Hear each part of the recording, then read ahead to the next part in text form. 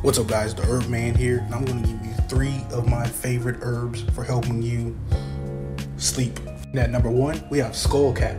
Skullcap is used in traditional medicine because it is a natural sedative, and it is also used for anxiety treatment. Skullcap impacts your mood by reducing anxiety and stimulating your GABA, which is important for helping calm your nerves. At number two, we have passion flower. Passion flower works by influencing the neurotransmitters in your brain. That helps with reducing stress and inducing sleep, and also helps with adults dealing with insomnia and improving overall sleep quality. At number three, we have ginkgo biloba. What can't this herb do?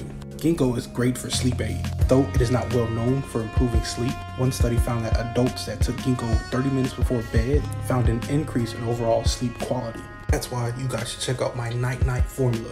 It contains two of the herbs we just talked about, passion flower and skullcap. It also blue vervain and valerian root.